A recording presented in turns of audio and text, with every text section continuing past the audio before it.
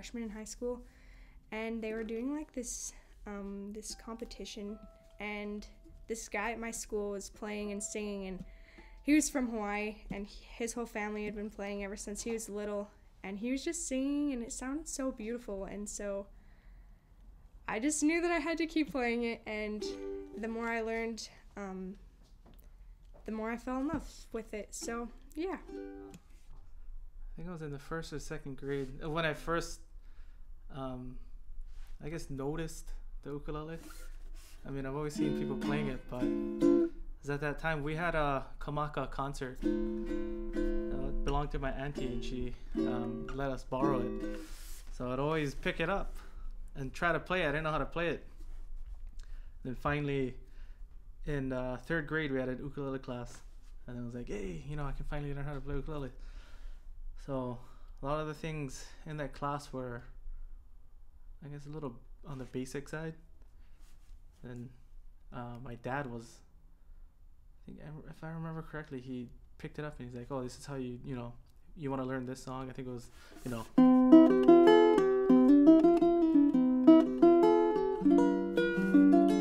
That was like one of the first songs I learned. There's this one vamp that he taught me. That was it.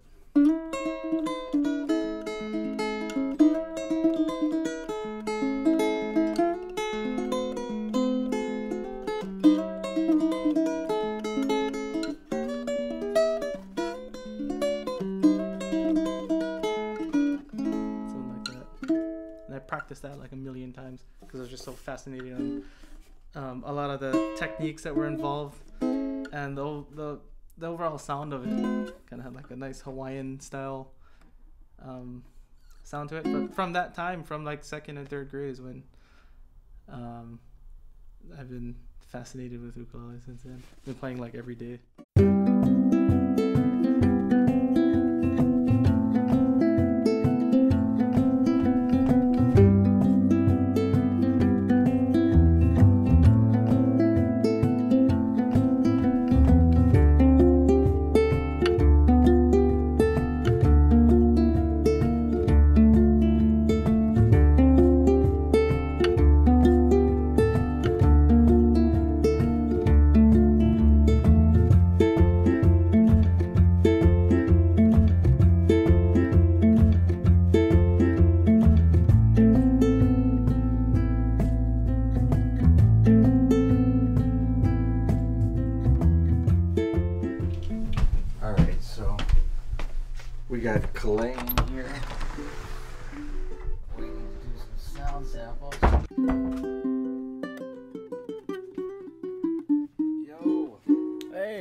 It going? All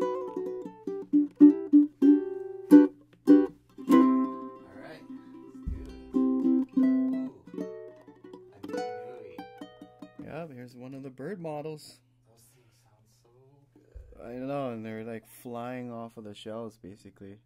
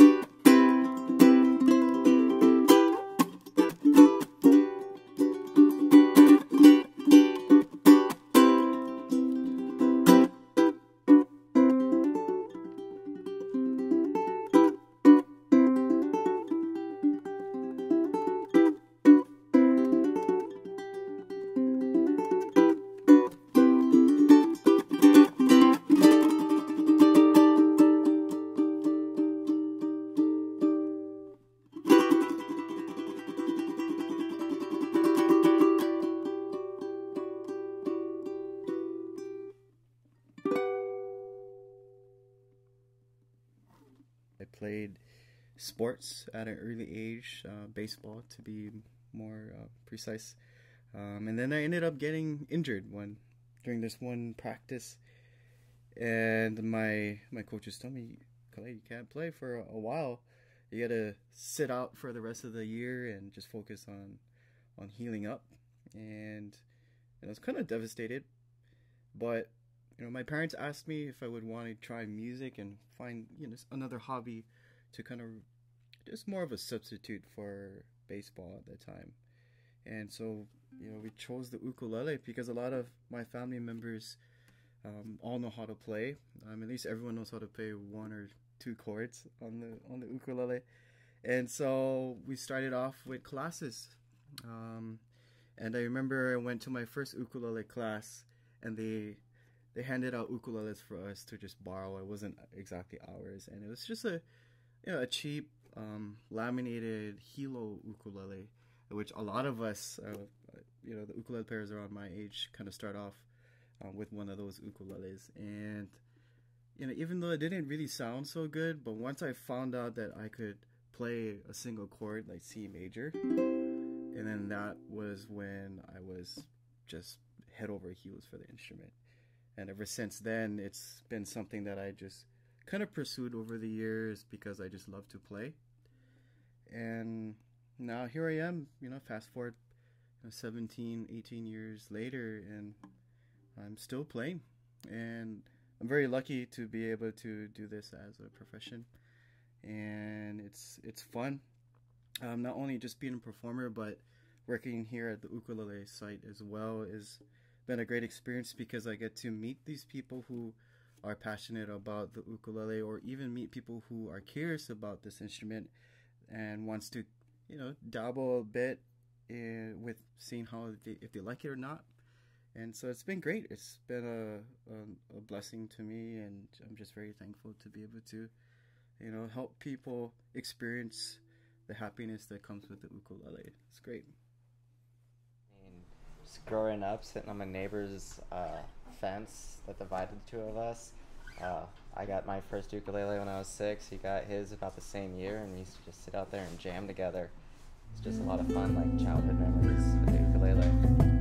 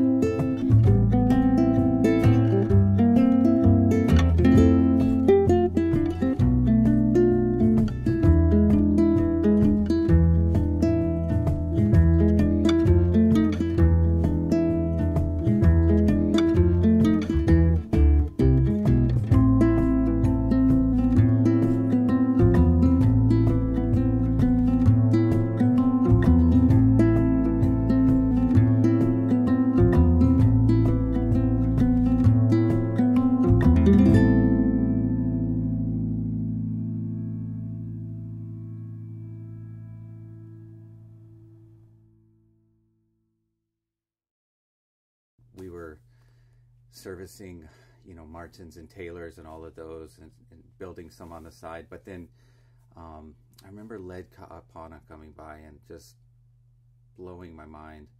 And then um, Lyle Ritz was coming by, super incredible jazz ukulele player. Um, Chino Montero, just incredible ripper. Actually, with Chino, I just wish there was more recordings of him uh, playing ukulele because he was just amazing. But um, right around that same time, Tracy Terada was coming by and he was producing the Pure Heart albums. And Tracy's an awesome player too, but introduced us to Jake and everything. And so just seeing the caliber of players and what they were doing with the instrument really um, opened my eyes to the serious nature of the instrument and made me realize that um, more uh, super high quality ukuleles should be made and, and provided for musicians to get their hands on these things because um, when they when they did, it was just a magical thing. And so that's kind of been my pursuit ever since. And you know, we have a amazing group of people. Our team here at the ukulele site is just awesome, and you know, we're gonna just keep doing our best to bring you guys the best in ukulele. And I, I gotta say, I feel super grateful to be a part of this community and with you guys. And um, we're here to help you on this journey. So, mahalo for your support and aloha. See you next time.